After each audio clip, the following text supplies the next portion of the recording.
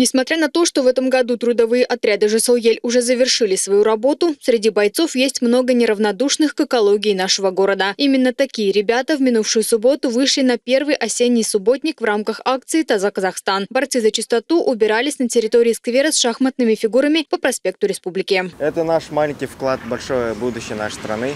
Очень почетно быть частью команды, которая трудится над тем, чтобы сберечь окружающую среду всего Казахстана. Также призываю всех пойти 6 октября на референдум и сделать свой самостоятельный выбор. Э, классно, что у нас появился шанс развивать зеленую энергетику.